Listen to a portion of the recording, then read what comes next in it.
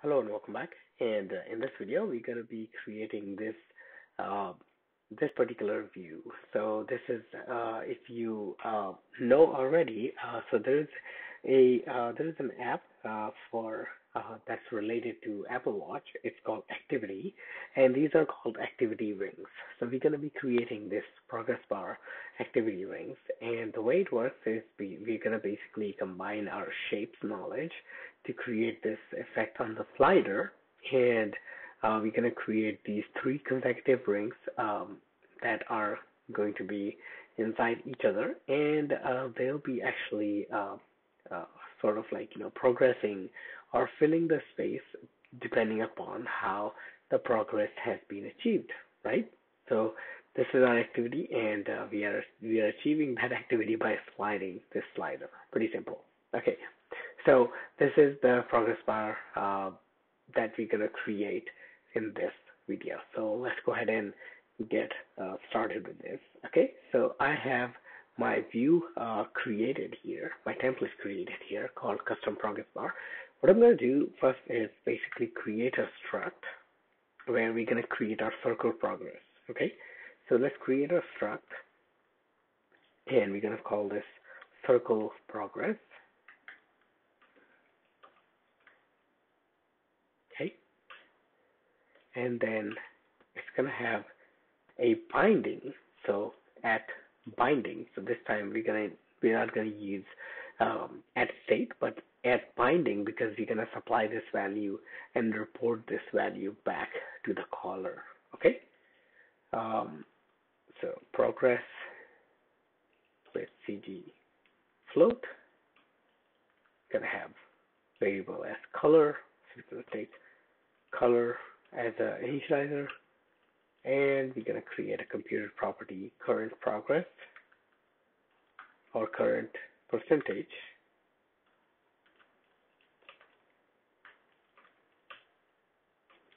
And that property is going to be progress times 100 okay? And uh, as you notice there's no return so return is not required it's 5.1 and above for single statement for computed properties and for any other property in that for that matter. Uh, so that's why we are actually going to leverage that fact. And now we're going to create our var body some view. And here we are simply going to create a circle first.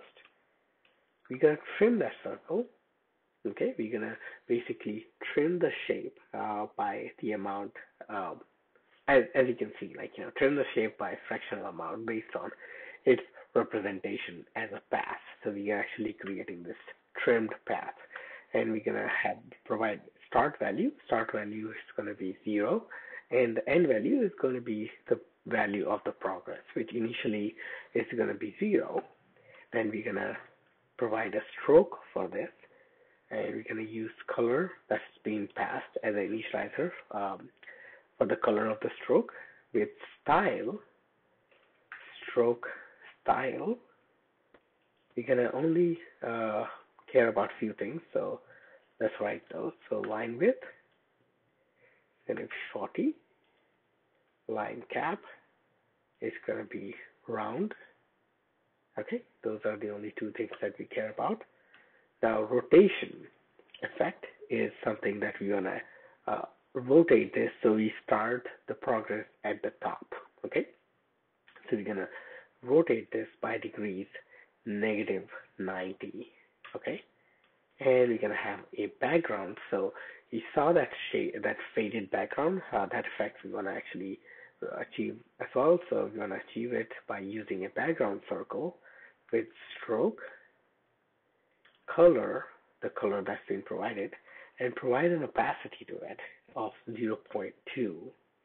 Okay, and also give this a style, right? And style is actually going to be exactly the same as this, like so. Okay, and that is it. That's your circle progress. As you can see how easy it is to basically create this circular progress if you have created anything like this in uh, storyboards, you know how easy it is now. Uh, now, let's go ahead and create three state variables, red circle, progress, CG float,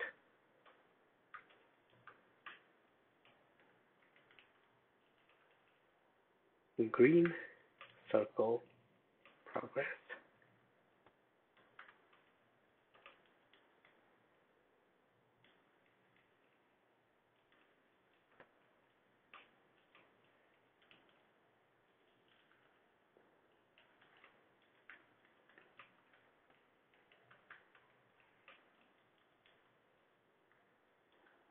Okay. Now, time to write some, some of the code for our body uh, for this circular for custom progress bar. We're gonna create our V stack, okay? And in this V stack, we're gonna create a Z stack, all right? And inside the Z stack, we're gonna have our circle progress. So we're gonna call our circle progress this custom view, and uh, we're gonna give it a progress. So progress is gonna be for first one is gonna be red circle progress with color and these are custom colors that I've actually created. So you can actually create colors from UI colors. So that's what I'm going to use. So I'm going to use this color from UI color. Okay? And uh, that matches closely to what activity rings uh, show. That's what these colors are. And we're going to also give it a frame with height as 300 Okay. And uh, I'm going to do the same thing with other circle progress. So progress, and this one is going to be green circle with color as the other UI color. So let me take, grab that value. It's going to be the green sort of color.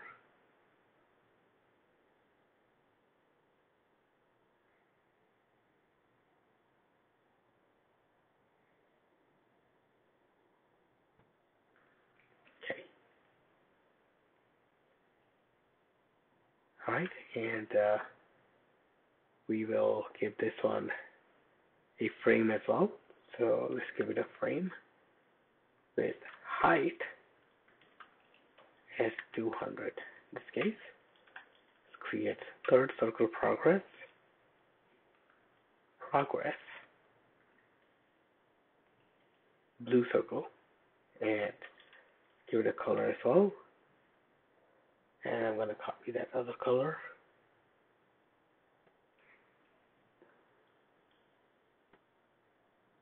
Okay, all right. Let's give it a frame with height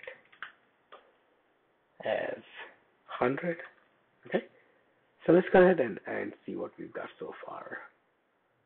So what, what we should see basically a uh, ring with faded uh, color. Yeah, there we go. Okay. So uh, right now, all of our all of our values are one. That's why, right? So we are starting with one. So let's go ahead and give uh, this a uh, this Z stack right below the Z stack. We, we're going to create three sliders. So slider with value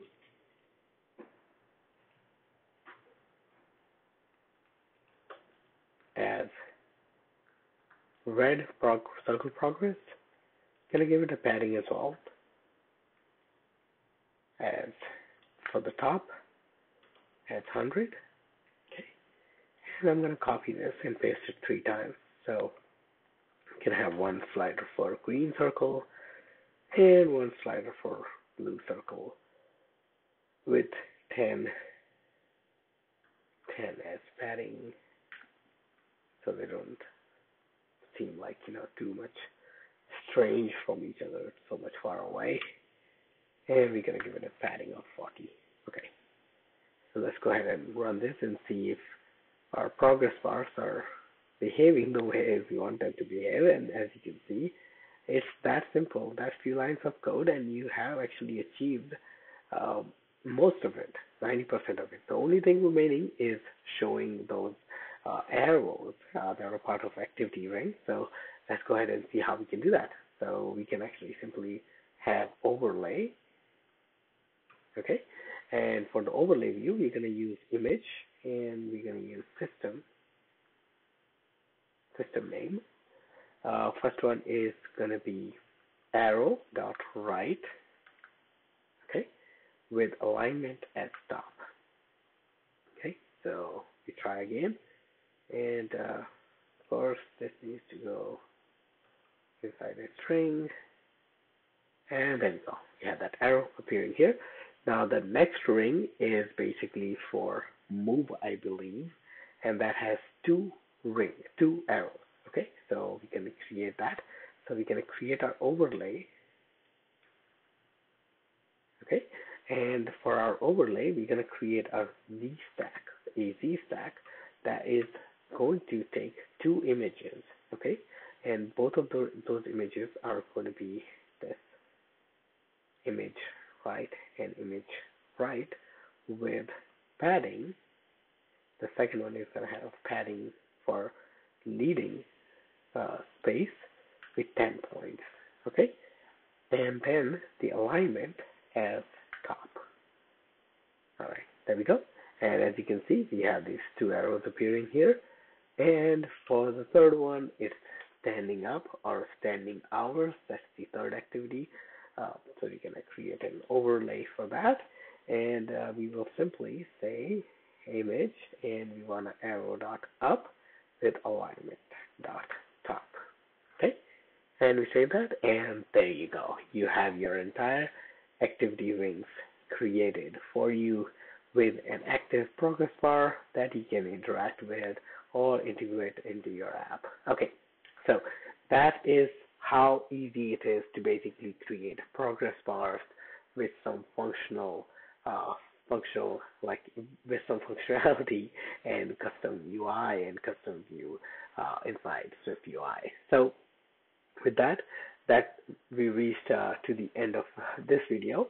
And uh, in upcoming videos, we're gonna start exploring some uh, some more controls like stepper and tab views, and uh, eventually uh, I want to create a complex UI uh, just to show you how to combine all these to achieve a uh, custom UI for yourself by combining all these things that you have learned so far. Okay, our journey of learning is not over yet. It's pretty long, so stay tuned and uh, yeah, and we will actually uh, uh, continue forward uh, from uh, next videos. So thanks again for watching.